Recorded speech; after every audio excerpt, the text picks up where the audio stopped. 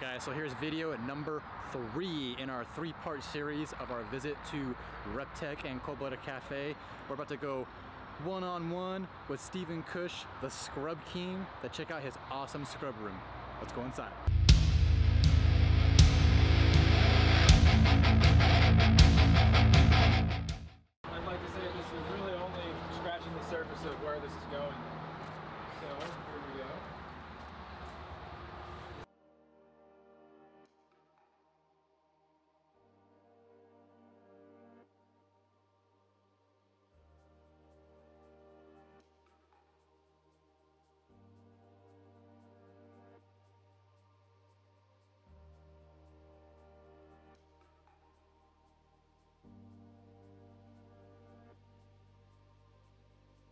Have uh, six feet wide, two feet deep, and two and a half feet tall. And uh, from what I've kept scrubs in over the time, uh, this is to me, for an average size adult, about the perfect enclosure. Um, where we can still have them triple stacked in here to be space efficient. We give these animals plenty of space to move around. So we have a barneck pair in here. We can see one of our, uh, our Moluccans right here. Yes. This is uh, What a dreamy animal. First one I ever acquired back in 2016, I believe, as a baby. And uh, he's now an adult male, about eight feet long, uh, in with a female. this so, is definitely a cool looking. this is one of the most special animals in here to me. This is my first scrub python. No way. Oh, that's Uh, awesome, this is dude. legendary. This is the one, a little red neonate, and now uh, is a breeder male. So he has been with a female. They've locked up six times this year. This is his first year breeding, and he went right to it. Uh, he has that kind of Manokwari, muted, banded look to him. Like reduced type. Yeah, uh, really kind of like washed out tan color. For me, early on in scrub pythons, this was the look that I loved the most, and uh, still holds a very special place in my heart. So does this animal. Obviously, an extremely good temperament on this snake. Um, I would I would put this thing on Lars's head if Lars was standing right here. So yeah, very very special animal and uh, one that I hope is around for a very very long time. It's gotta be awesome seeing your first snake actually like breeding this. now too. Oh yeah, absolutely. Huh? This is yeah, how we hold the classic snakes. hand. Yeah, the right, the, the, the left hand with the right hand picture. Yeah. Yeah, you gotta do it like that. Yeah. This is uh, this snake is almost as old as I am. Wow. So this is It's uh, 13? it's 14 actually. So no, so this this animal was produced by he's, he's in shed unfortunately, but this was produced by VPI in 2001. Wow. 2001. 19, This about 20 years old. He's, I was he's, still in high school. His dad is one Holy year shit, older It's the than same age as Steven. I'm, I am I am one year older than this snake, depending on when it was actually born. But um, That is so epic. Yeah, about 10, 11 foot long and very calm demeanor on this animal. But uh, to me, really, it's, it's an honor to, to have in the first place, have an animal that was produced by the Barkers and so long ago too. And it's, it's doing very well um, for being such an old animal. Has some kind of some quirks that go along with being a bit on the older side, but uh, overall a very healthy snake and one that is really an honor to have in the collection. So, sweet. VPI Barneck from 2001. This snake was born when I was still in high school. Oh my god. Snake was born when I was one. All right, so this is. Uh, I don't think I need to explain why this animal is so special, but this is probably one of the most golden barnecks I've ever seen. So about an eight foot sub-adult female. Uh, she is an import, so not a captive bred, but still this incredible color to her. And um, Very active. yeah, you know, not the not the worst temperament, not one that I necessarily trust like some of the others. We just haven't had her for all that long. Just some, something you gotta keep respecting and stay, Yeah. stay alert on. for sure. Exactly. Some of these animals takes a little bit of time before the full comfort level is realized.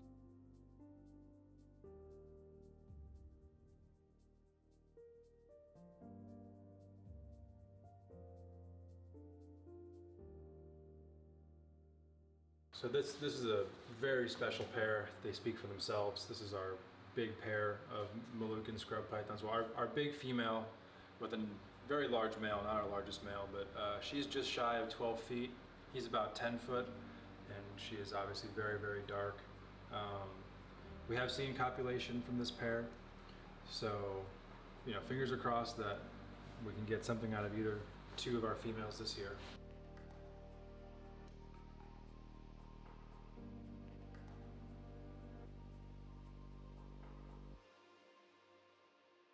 But um, this snake, uh, from what I can tell, is within a couple weeks of her ovulation. Wow.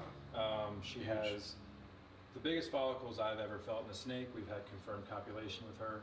Um, everything's moving in the right direction, so I'm pretty confident we're going to get a clutch from her this year. Um, one thing that all scrubs will do when they're developing is uh, they'll darken up. She shed two days ago and is as dark as I've ever seen her. dark as hell. It's the one that had the big old head, right? Yeah, this one's as pretty damn big. So uh, the the F2 female that's in with her uh, was produced by VPI, and is the daughter of the snake that was called Rain, uh, which is probably one of the nicest looking barnecks that's ever lived. Um, he had very distinctive banding, very bright uh, tan base color with a light colored tail, um, and you know we're very fortunate to be working with this VPI lineage that otherwise is essentially gone um, from captivity. We have um, these two adults here and two babies in the back. So, or I guess two to three year olds, so young, young ones. Room number two. He does his shoulders and backs on Wednesday. So this is the back side of the scrub python building. Uh, we have some more adults in here, but then we have a lot of our younger uh, raise up animals in here as well. So this right here is an Aru type scrub python. Yeah, he's the nicest Aru I've seen. Definitely has a hypo-like appearance to him. He, he's been with uh, our female Aru this year and um, may have seen some activity out of them. So could be expecting a clutch from the Arus. But uh, yeah, just incredible coloration. To me, Aru scrub pythons look like an orange diamond python. That's kind of how I describe it with that kind of speckled pattern throughout, just the overall orange wash. Um, definitely underrated, kind of Moluccan-like as well in their uh, their color transitions into their tail. But I think uh, one that most people that know, you know, kind of casually about scrub pythons aren't even aware of in the first place. But to me, one of the most beautiful animals in the entire scrub complex. All right, this animal here is very special. This is a Biak type scrub python. Let me a This is uh, an adult female, and uh, you know they're just they're incredibly unique. So at, at the current moment, these are classified in the same species as the barnecks and the southerns. To me, these are, are completely a unique animal on their own. Uh, they most closely remind me of Halmaheras with their uh, Ooh, de- the with their demeanor. Wow, that All is those like awesome. silvery marbly eyes. That is so neat. And uh, this girl has a very calm disposition for sure. My hope is by next year we'll be able to uh, attempt with a small male, um, but you know she's uh, she's not going anywhere. So she's she's about seven years old, I believe. So definitely definitely the right age. Um, Biaks in general don't seem to get quite as big as some of the I other was gonna say, scrubs. for being seven, she's pretty small. Yeah, yeah, they're, they're still, you know, they're very slender. This is the Biak scrub, the kind of two-toned, silvery brown look. It's very Two-tone. unique pattern. Beautiful. Gotta love it.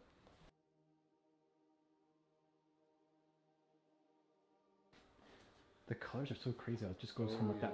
Oh black. lord. So this uh, Yeah. this animal speaks for itself. This is the smallest of our Moluccan scrub pythons, Clastolepis. And this animal actually has a pretty funny story behind it.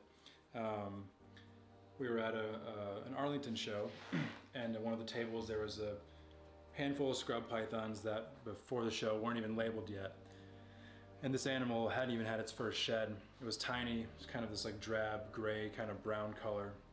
But I, I came up to it and I noticed the pattern change and, and the, the head structure and I immediately realized that this was a Moluccan. It was just a very, very tiny baby. Um, and uh, needless to say, got this animal for quite the steal as the seller didn't even know what it was and um, was told a couple of times that it actually wasn't a Moluccan. But So they're not the- born this color. no, no, they're, they're definitely not. Yeah, they come come out either uh, red or kind of silvery, um, and kind of develop the gold within their first number of sheds. And uh, you know, by about, but for a little while, I actually kind of was convinced that it wasn't a Moluccan based on a couple of things, and but then it shed one time, and I'm like, man, that is gold. This is absolutely a Moluccan. So, and now obviously there's no no debating it.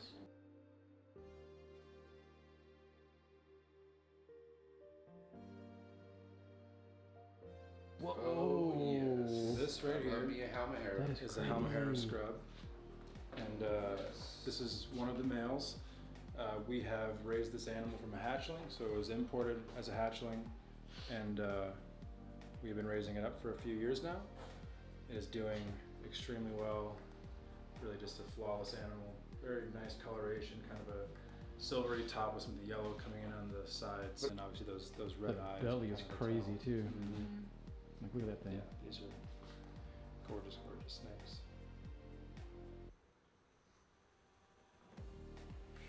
So this this right here, to me, is one of the nicest bar necks I've seen in my entire life. 100%. So black. So nuts. This is a, a second generation captive bred, bold black is. Yeah.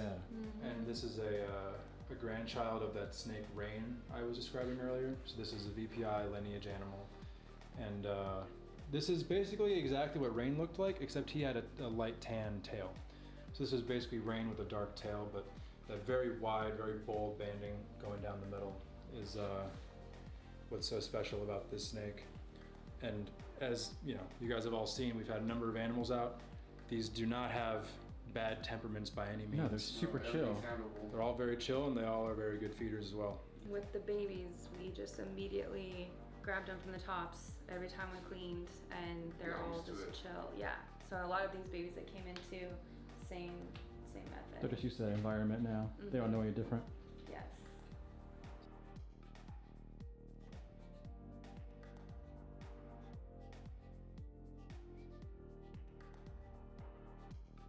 This here is another favorite. So Um. This snake is uh, unique for a few reasons. One, for this orange coloration, but one that this is a uh, locality cross scrub pythons. This is a Merauke to a Highland. Um, there have not been very many crossbreedings done so far in captivity with scrub pythons, either uh, full species hybrid or um, locality crosses. And uh, this animal, quite obviously, came out phenomenally.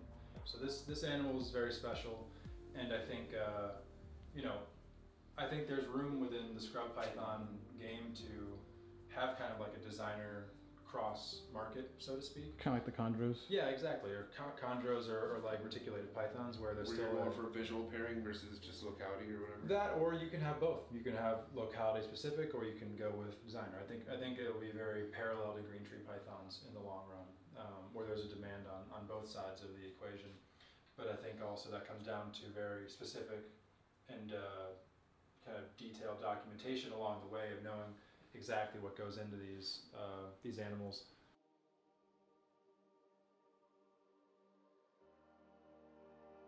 Um, this one is uh, definitely a very exciting one for me.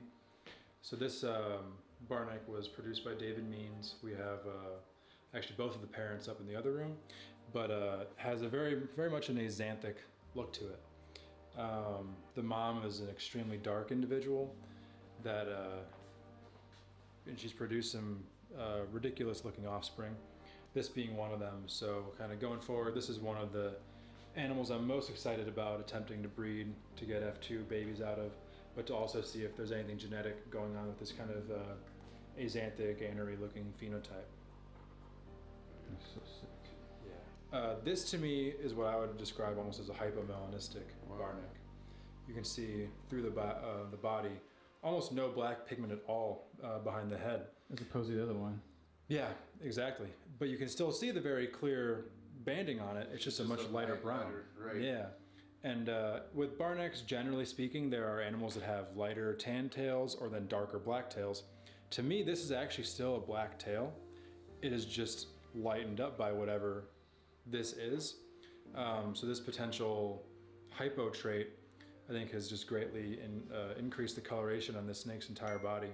Um, another one that keeps getting better with age for one, and two, I just can't wait to eventually uh, attempt breeding and potentially see offspring from. So, uh, these were from the 2020 clutch.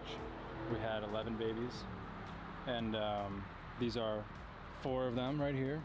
So it's crazy to see how variable they all are, like how dark here. This one is dark and contrasted, dark and kind of muted, brighter with that very high contrast bars, and then here one that almost has no bars at all until later on in the body And it's dark. and yeah so i think this this to me showed just how variable the Barnecks are and how random this can be, how these animals are all siblings from, uh, from parents that did not look all that different. So we saw the, the adult male earlier, here's that brighter Manokwari type looking animal. Um, the female, who he didn't show, she's a bit darker than him, but a, a similar pattern. So two, uh, two animals that had a pattern kind of akin to this one, produced a couple snakes that had very, very defined banding.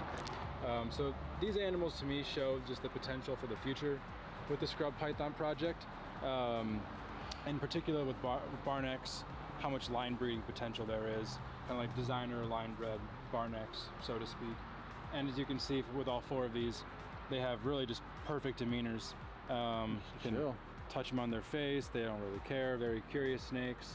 Uh, they probably crawl onto your head and sit there for hours if you let them. So to me, these are just about the perfect snake in total. Obviously, I'm biased, but uh, I'd like to let somebody argue against that point. That's why you're the Scrub King. All right, guys, that's all for this video. I hope you enjoyed that amazing scrub python collection. Shout out to Steven and Dez for showing it off. If you don't love scrubs after that, I don't know what you're doing. They're awesome. There's so much different stuff you can do with them. What Steven talked about, like localities and making them kind of like chondros. Awesome stuff. Make sure you go follow their pages, check them out. Until the next time, take it easy.